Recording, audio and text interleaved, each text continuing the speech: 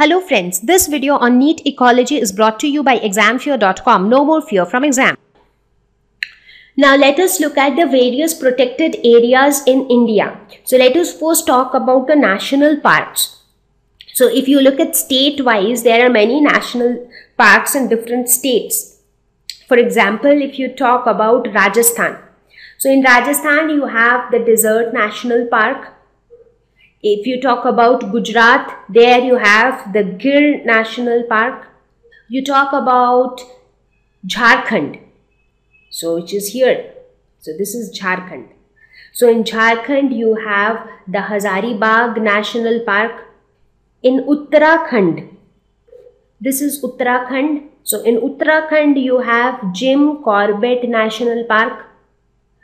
UP, you have Dudhwa National Park. Again, in the southern parts of the country, in Karnataka, you have Bandipur National Park. You also have Bannerghatta National Park. Again, if you go towards MP, you have Bandhavgarh National Park. So, in fact, these are just a few of them. So, in different states, you have many different national parks which are extremely protected areas for conservation of plant and animal species. Now let's look at the animal sanctuaries. Now there exists a total of 515 animal sanctuaries. So how many animal sanctuaries do we have in India? Approximately 515 animal sanctuaries. Now, how many national parks do we have in India? So, as per a record of 2012, there are 112 national parks in India. In 1970, it was found that there were only five national parks. So you see from 1970 to 212, the number of national parks have increased from 5 to 112, which is a huge increase. And why was this increase? This increase is mainly because of a, a act which came in 1972 called the Wildlife Protection Act. Because once this act came into picture so a lot of emphasis was given on protecting different animals. And in order to protect animals these national parks were created. Okay now let us talk uh, name some of the animal sanctuaries in india. For example in bihar you have the rajgir animal sanctuary so here in Bihar, you have the Rajgir Animal Sanctuary. In Chhattisgarh, you have Badal Khol Sanctuary. In Goa, you have Salim Ali Bird Sanctuary.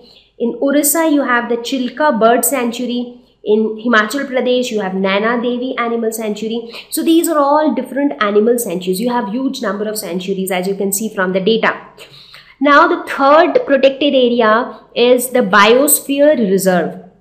Now in India, we have a total of 18 biosphere reserves. Now, some of the examples of biosphere reserves are the Sundarbans Biosphere Reserve in West Bengal.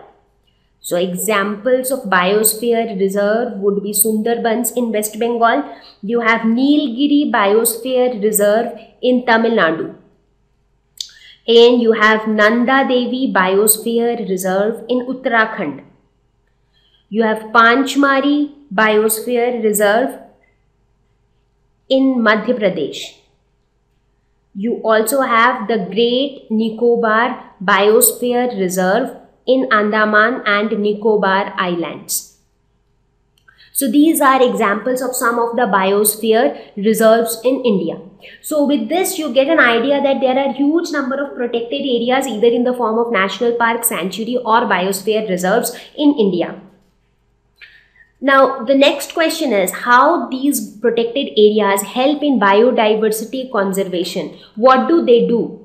So first of all, cultivation is prohibited. So, in these areas, uh, you are not allowed to uh, cultivate crops like you are not allowed to do agriculture in these areas because when you start doing agriculture what happens the natural habitat of the organisms are spoiled right? So cultivation is not allowed. Secondly grazing is not allowed because due to overgrazing also the uh, habitat of loss of habitat takes place. So here grazing is not at all allowed.